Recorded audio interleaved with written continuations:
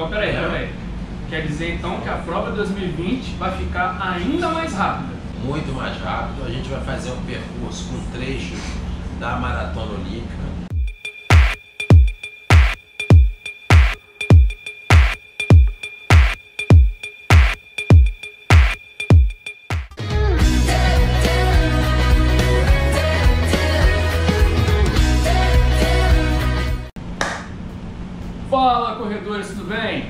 Não sabem onde nós estamos, não conhecem essa pessoa aqui, importantíssima? Dá uma olhada nas imagens aí agora. Estamos no coração da Maratona do Rio e só quem manda aprender e soltar. João Trave. João, você é o que da maratona? Explica pro pessoal que não te conhece ainda. Então, eu sou um dos idealizadores da Maratona do Rio, nesse percurso é, desde 2003, né? Sou diretor da, da Spiridon Eventos, que é sócia da Trinfecta e diretor da Trin Spiridon e um dos mentores da Maratona do Rio. É o diretor técnico da prova, então? É, Eu não sou o diretor técnico, eu, o diretor técnico é o Fernando, mas eu sou um dos diretores de organização, diretor executivo, né? então opino sobre a área técnica, né? e tem, nós temos várias funções dentro da maratona, então são funções bem definidas. Né? A Mas- questão maior que a gente quer, todo mundo está querendo saber. Percurso 2020. A gente estava conversando aqui meio informalmente e tal. Nós tivemos uma alteração esse ano de 2019 devido ao problema da Niemeyer. A maratona teve que fazer esse percurso. A gente sabe que o percurso não é o original. O original é lá do Recreio. Então, então o percurso da maratona, que, que, é, que é o percurso que foi idealizado lá atrás, em 2001, 2002, nós fizemos a primeira em 2003, é um percurso ponto a ponto, que é um percurso muito mais agradável para o corredor, não repete. Né? E esse, como a gente tem essa orla do Rio de Janeiro maravilhosa, a gente tem a prova, né? a gente tem esse percurso definido, é, 99% na orla do Rio de Janeiro, é, passando na, na Praia da Reserva, na Praia da Barra, depois entra no túnel, passa São Conrado, né, passa na Neymar, aí vem Praia do Leblon, Ipanema, Copacabana, né, vai para o Aterro. Então esse percurso, é, infelizmente, nesse ano que, que nós estamos, né, que a gente está falando como ano passado, mas é esse ano ainda.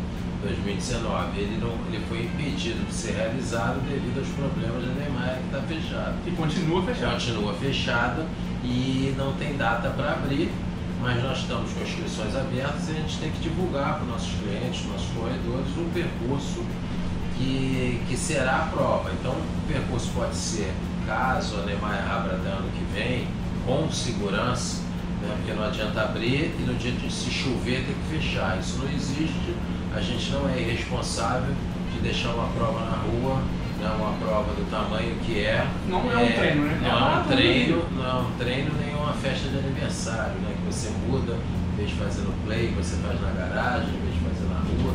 É uma maratona pode mudar de uma hora para outra.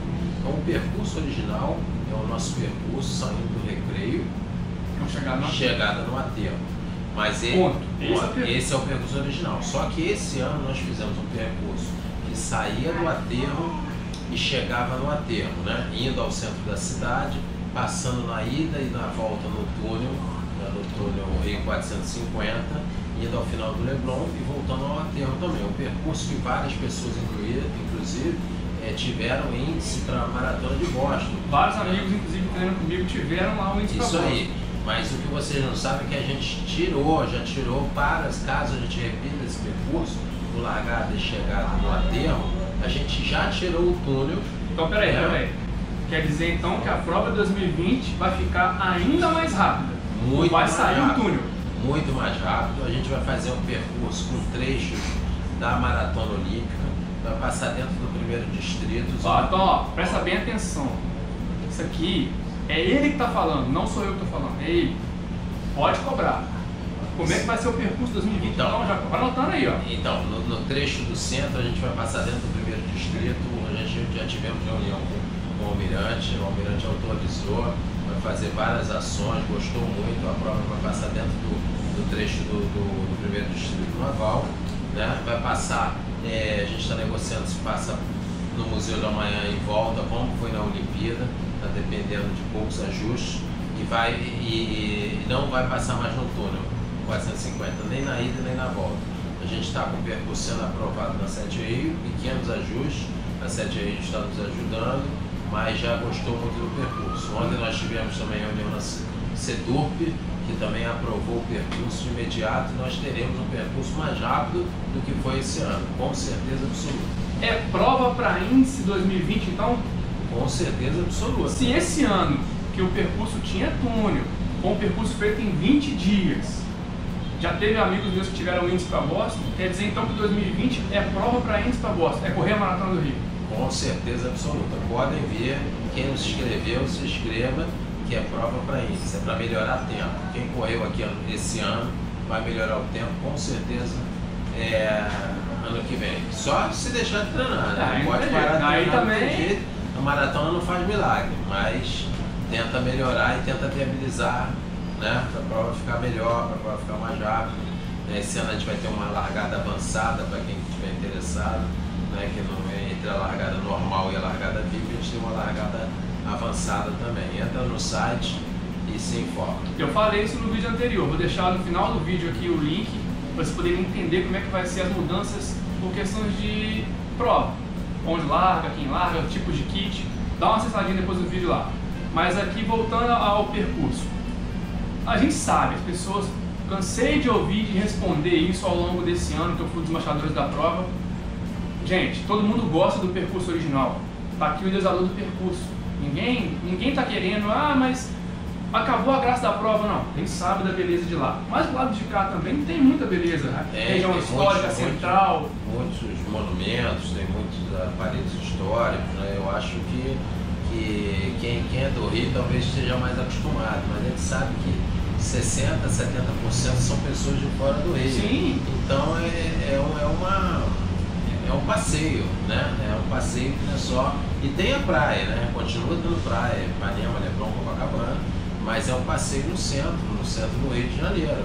Né? E inclusive na, na prova de 10 km, que faz parte do festival, a gente também tirou o túnel Marcelo. Opa, ficou mais rápido Vai 10K ficar também. mais ó. rápido 10 km também. Então não tem Entendeu? túnel 2020 em prova nenhuma. Não tem túnel, só tem o túnelzinho pequeno Ah, mas ali, da Copacabana, né? Aí ele não que é pra nem, nem considera, né? É isso aí. Nem considera. É. Agora, outra informação importante. Largada da maratona continua às 5h30 da manhã. 5 e meia da manhã. Graças Ondas, a Deus. E a da meia maratona no Leblon também permanece no mesmo horário, meia. 6 e meia. É, então a estrutura da prova continua a mesma de 2019, só se caso a Niemeyer for reaberta, aí avisa com antecedência. Não, a gente vai avisar, a gente no andamento, as pessoas acompanhando a imprensa também, também vai, vai, vai, vão estar cientes. Todas as informações importantes, informações que você tiver que tirar, site da Maratona do Rio, rede social da Maratona do Rio, e eu também vou passar por vocês aqui.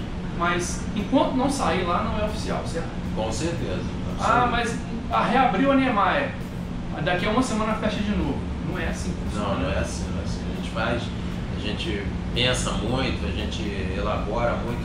Olha que nesse ano de 2019 que a gente fez o percurso em 20 dias, é, foi assim 20 dias, mas 20 dias de, de 48 horas.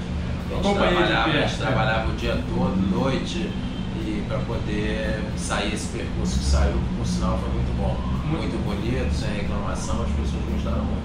E aí, como a gente já teve esse problema, a gente já está se preparando Tá pra- antecipando, né? antecipando e colocando o percurso mais rápido. Quando a gente terminou a prova esse ano, a gente já estava preparando já. uma das pessoas da equipe mesmo falou assim: ó, já vou é, ver como é que eu faço para tirar o túnel para a prova ficar mais rápida. Viram só? Então, então, recapitulando. 2020 não tem túnel nem nos 10, nem nos 42. A prova tende a ficar mais rápida, a prova tende a ficar mais plana e com isso a possibilidade de queda de tempo, recorde de prova, índice para Boston, para outras provas se vocês quiserem, Com certeza, a gente está trabalhando para isso aí. é correr a maratona do Rio. Tá aqui embaixo aparecendo o site da prova. Vai lá, acessa, já tem lá, vai ter, também assim que sair esse vídeo vai ter lá o percurso ou ainda não? Sim, o percurso já vai estar entrando no site também. Então já entra lá, já acompanha o percurso lá na íntegra. Vou fazer o vídeo de novo de dica do percurso, mas se você quiser acompanhar, acessa o vídeo desse ano, que o percurso é praticamente ali, só tirando o túnel um outro detalhe. Mantém o mesmo desse ano, beleza? Qualquer coisa, só manda mensagem para Espiridon, para Maratona, que a gente vai respondendo aqui. Até a próxima. Gostou do vídeo? Ó? Deixa o seu like, para vocês. compartilha com os amigos, compartilha esse vídeo com quem quer correr a maratona, com quem está com dúvidas, quer correr a maratona do Rio 2020. Tá aí, ó. Agora não tem mais desculpa. Siga nossos programas nas redes sociais, Facebook, Instagram, tudo é programa, quilometragem. Siga as mídias da Maratona, Maratona do Rio Oficial. Dá aquela moral pra gente, se inscreve no nosso canal. E até o próximo vídeo. Valeu!